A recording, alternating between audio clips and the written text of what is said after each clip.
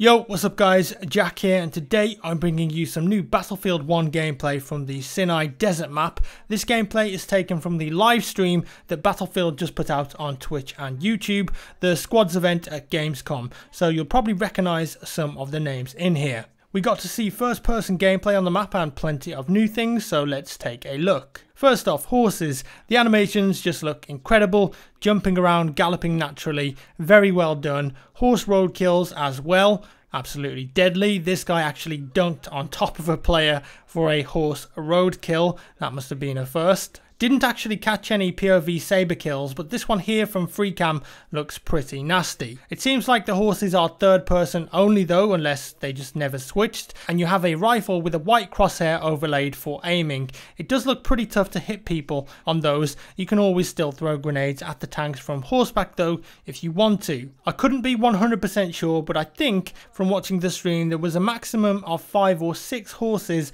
on the map, 2 from each deployment, and I think maybe 1 or or two from capture points as flag assets. Also horse and rider can be killed separately from each other. We see horse hits and enemy hit indicators throughout the footage. Elite classes then, the big guys. Lars Gustavsson came on the stream at the start to talk about these and confirm that they are battle pickups well hidden throughout the level. So you go up to the kit, pick it up, and then you transform somehow into the elite class guy. The anti-tank class spawns at E, the flamer at B, and the armor LMG guy spawns at F, with roughly a 5 minute respawn delay after death in between. And they spawn in right at the start of the match too. They didn't look too overpowered from what I saw and did did regenerate health. There was a few clips of the Flamer class, it seems like as the Flamer you could set pockets of the ground and terrain on fire for a short while. No footage of the anti-tank guy sadly, and just a brief one when Stodeh managed to pick up the LMG guy. The gun looks absolutely massive, but notice he did actually manage to enter the vehicle there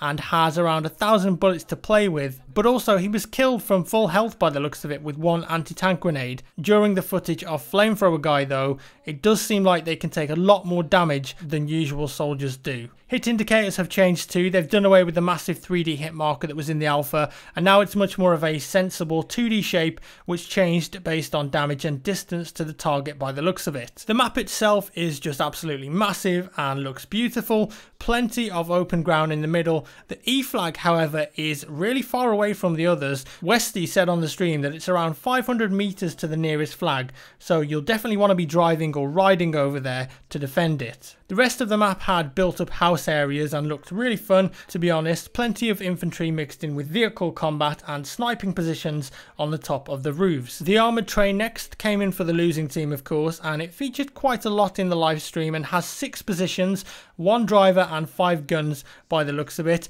The driver can move it up and down the track going from point to point. It doesn't cover all of the points and it's kind of in the middle of the map. It has cannons and machine guns on it putting out some massive firepower, absolutely devastating if you play carefully with it from what the guys at the event were telling me. It's got AA guns on it too, takes out a plane at one point in the footage. Obviously though, it can be destroyed if you focus fire on it. You can destroy it in parts and when it blows up, it makes a massive explosion and remains on the map, starts bellowing out black smoke that can be used as cover if it's near enough to a point for example pony line in the plane here with the rocket pods. They showed this a few times on the stream and he absolutely decimated the train in a few of these matches. The rocket pods look very accurate and seem to do big damage to vehicles but not so much to infantry on the ground. And then the sandstorm rolling in here. It starts quite small with sand and dust rolling along the floor being blown that starts eventually picking up into more of a gust and then of course the full sandstorm rolls in from the distance and completely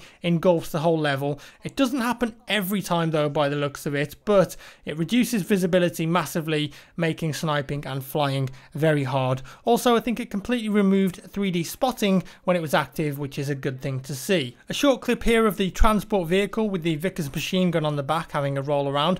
Looks very fun that. And then a few bits and bobs here that I picked up. This weird bipod attachment thing for the sniper rifle. Absolutely no idea what that is. And here a stick style grenade that the Ottoman soldier is throwing. Level cap using the MG15 suppressor near the train tracks. Very cool looking weapon that is. Dynamite here being seen for the first time used by an assault class. It looks like that you can get two in total unless he's already thrown one, but it makes an absolutely massive explosion. And here Tommy from Two Angry Gamers has equipped what looks like a heavy machine gun for the FT-17 light tank as a secondary and it seems that it's very effective against the infantry there and he's mopping them up with no problem at all. I didn't see any new SMGs or rifles in the footage so maybe they're just not in the beta or not in this version of the game. And then finally the club takedown here literally just looks like a piece of metal attached to a bendy wire but I suppose if it gets the job done it gets the job done. So there we have it guys that's a few new things that I picked up from the live stream.